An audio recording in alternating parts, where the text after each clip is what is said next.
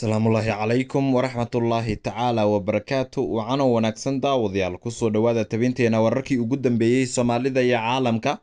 Waxaad si toosa kala socotaan janalkeena qodobada ugu waaweyn ee wararkeena aan idinkugu soo gudbin doono ayaa waxaa ka mid ah. Puntland goosashadeedii kadib taliyo odowaa oo runta u sheegay madaxweynaha puntland saciid cabdulaahi dani iyo hanjabaad cusub oo ka soo yeertay senator muuse suudiyalxow taa oo uu ku difaacayo midnimada soomaali weyn. Xilligan maxaa ku soo beegay? In saciid dani uu ku dhawaaqo in puntland ay tahay dowlad madax bannaan falanqayn ayaan ku samayn doonaa. Wararkii ugu dambeeyey xiisadda laascaanood oo soo laba kaclaysay iyo cabsi laga qabo in somalilan dagaal dhowr jiha ah magaaladaasi ay ku soo qaado. Muuqaalkan ayaan ku dul istaagi doonaa guud ahaanba xogahaasi. Haddii ay tahay markii ugu horreysay oo muuqaalkan aad ka daawanayso janalkeena nagu soo biir oo ka mid noqo kumanaanka kun ee saaxiibada ah ee halkan aynu ku leenahay. Waan kaaga mahadcelinayaa mar kasta iyo meel kastoo aad joogtid sida muuqaaladeena aad u daawato. Waa maalnimo talaada ah taariikhduna ay ku beegan tahay. Tobanka bisha january sanadka labada kun iyo labaiyo labaatanka waxaan u gudagelaynaa qeybaha hore ee wararkeena. Aynu ka horumarnay jenaraal odowa yuusuf raage taliyaha ciidanka xoogga dalka iyo senator muuse suudiyalxow ayaa weerar culus ku qaaday madaxweynaha puntland saciid cabdulaahi dani oo ku dhawaaqay saacado ka hor in puntland ay tahay dowlad madax bannaan oo nidaamka federaalka aan lagu qasbi karin. Qoraal dheer oo ka soo baxay madaxtooyada puntland ayaa dad badan oo soomaaliyeed ka yaabiyey taasi oo uu ku leeyahay saciid cabdulaahi dani. Puntland waa dowlad madax bannaan oo dastuurka federaalka soomaaliya ayaa qaba in sida dowlad madax bannaan ay u dhaqmi karto. Arrintaasi waxaa aada uga dhiidhiyey qaar badan oo ka mid ah shacabka reer puntland oo sheegay in saciid cabdulaahi dani uu boorisku qarin siyaasadeed wado islamarkaana shaqooyinka looga fadhiyey uu u weeciyey in federaalka dagaal uu la galo xilli shalay isaga uun uu ka shaqeeyey in madaxweyne xasan sheekh maxamuud ilaahay ka sukow uu ku guulaysto kursiga madaxweynaha jamhuuriyadda markii labaad saciid dani qaar badan oo ra'yigiisa siyaasadeed aada uga soo horjeeda oo reer puntland ah ayaa hoosta ka xariiqay in go'aanka uu qaatay uusan ku matelin shacabka puntland balse iyagu ay uga fadhiyaan haddii ay yihiin shacabka reer puntland inuu qabto doorasho la mida tii uu ku soo baxay. Waxa ka soo horreeya ee uu isagu isku mashquulinayana isaga ay gaar u yihiin qaar ka mida dadka ka soo jeeda puntland ee baraha bulshada aadka caanka uga ah ayaa arrintan sidoo kale dul istaagay oo sheegay in puntland marnaba aan laga saari karin nidaamka federaalisamka ee soomaalinimada islamarkaana aysan la mid noqon karin somalilan oo madaxdeedu ay aaminsan yihiin inay ka go-een jamhuuriyadda federaalk soomaaliya balse shacabkeeda soomaalinimada ay weli ku dheggan yihiin xog laga soo xigtay taliyaha ciidanka xoogga dalka. Jenaraal odowa yuusuf raage ayaa muujinaysa in si toosa uu u sheegay inaan la kala jari karin midnimada soomaali weyn. Maalin walba dhallinyaro soomaaliyeed ayaa u dhimanaysa soo celinta sharafta karaamada iyo midnimada ummadda soomaaliyeed. Waxaa lala dagaalamayaa al-shabaab. Qaraxyo ayaa lagu leynayaa ciidan soomaaliyeed oo dhallinyaro ah oo mustaqbal wanaagsan lahaa. Sidoo kale hub kale ayay u adeegsanayaan al-shabaab sidii ciidanka ay u carqaladeyn lahaayeen iyadoo xaaladaas lagu jiro. In xilligan puntland ay tiraahdo waan ka go-eynaa koonfurta iyo bartamaha soomaaliya ayaa uu arkay. Sida xogtu ay tilmaamayso taliya odowa inay tahay wax aada loola yaabo oo aan laga akhrisan doonin saciid dani xitaa kuwa somalilan aan laga akhrisan doonin maadaama soomaaliya ay tahay mid oo caalamka uu aqoonsan yahay soomaali mid ah.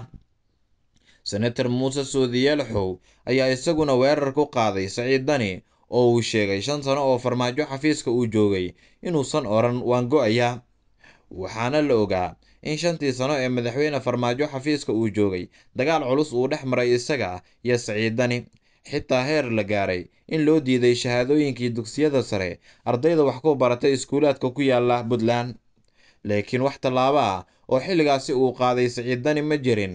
Hase ahaatee hadda oo isbeddel doonka uu ka mid noqday islamarkaana xasan sheekh maxamuud uu ku taageeray inuu ka adkaado farmaajo dad badan waxay isweydiinayaan maxaa xilligan keenay. Siyaasiyiin badan oo reer puntland ah ayaa waxa ay sheegeen in saciid cabdulaahi dani danihiisa gaarka ee siyaasadeed uu wato. Islamarkaana meesha uu ku dambeeyo la arki doono balse doorasho wakhtigeeda ku dhacda looga fadhiyo siciid dani ayaa la fahamsan yahay in uu wajahayo culays gudaha ah oo xilligan uga imaanaya siyaasiyiin dhowr ah oo doonaya doorashada in muddaxileedkeeda aan la dhaafsiinin oo wakhtigeeda ay ku dhacdo. Sidoo kale siyaasiyiintan waxay ka soo horjeedaan shuruuc kasta oo uu soo saaro dani oo uu ku doonayo in uu markaasi ku muujiyo gebi ahaanba in doorashada lagu qabanayo hadda deegaanada qaar ee puntland waxaa ka bilowday diiwaangelinta. Doorasho uu ku tilmaamay madaxweyne saciid cabdulaahi dani inay tahay mid qof iyo cod ah. Sidaa daraaddeedna waxaa dadka intooda badan ay isweydiinayaan in doorashada xilligan lagu soo beegay diiwaangelinteeda dana siyaasadeed oo gaar ah laga leeyahay. Dadka culayska ugu xoogan uu kala kulmayo madaxweyne saciid cabdulaahi dani waxaa ka mid ah wasiirkii hore ee arrimaha dibadda dowladda soomaaliya axmed ciise cawad oo isagu ku sugan magaalada garowe islamarkaana tilmaamay in saciid dani aan laga akhrisan doonin wixii laga diiday madax federaal ah iyo kuwo horey puntland u soo maray. Oo muddo kororsi ah in puntland ay xilligan ku dhawaaqdo inay u dhaqmayso sida dowlad madax bannaan dad badan oo soomaaliyeed ayay la yaab ku noqotay halka ay farxad arrintan u tahay.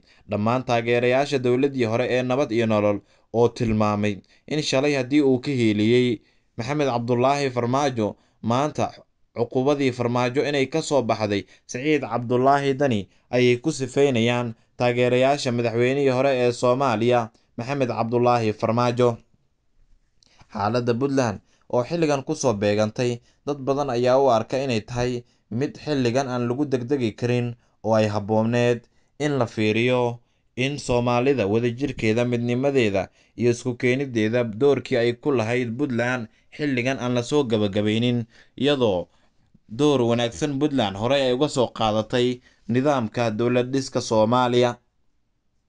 Ugu dambeyntiina taliyaha ciidanka xoogga dalka iyo mas'uuliyiin kale ayaa la fahamsan yahay inay ka shaqaynayaan tayeynta ciidanka xoogga dalka xilli wasiirka gaashaandhigga dowladda soomaaliya uu booqday xerada turkisom wasiirka gaashaandhigga soomaaliya cabdiqaadir maxamed nuur ayaa kormeer shaqo ku tegay xerada tababarada ciidamada turkisom ee magaalada muqdisho waxaana wasiirka halkaas ku soo dhoweeyey saraakiisha maamusha xerada wasiirka ayaa indha-indheyn ku sameeyey qeybaha fasalada lagu tababaro saraakiisha iyo askarta xoogga dalka.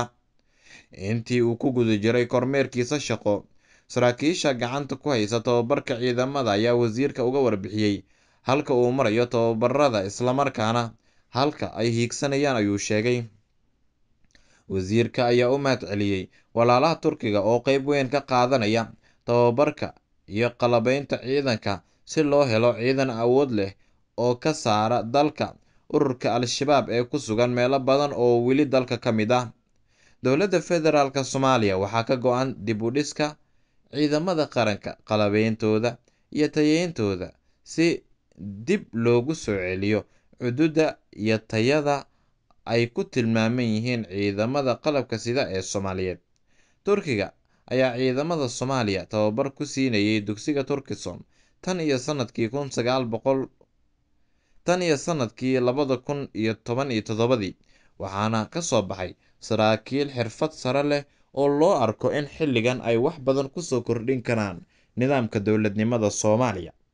Waxaana dowladda turkiga ay ka mid tahay dowladaha sida weyn u garab taagan jamhuuriyadda federaalk soomaaliya. Guud ahaan waa naga intaa tabinteena wararkii ugu dambeeyey ee soomaalida iyo caalamka muuqaalkan kan xigeentan dib ugu kulmi doono nabadgelyo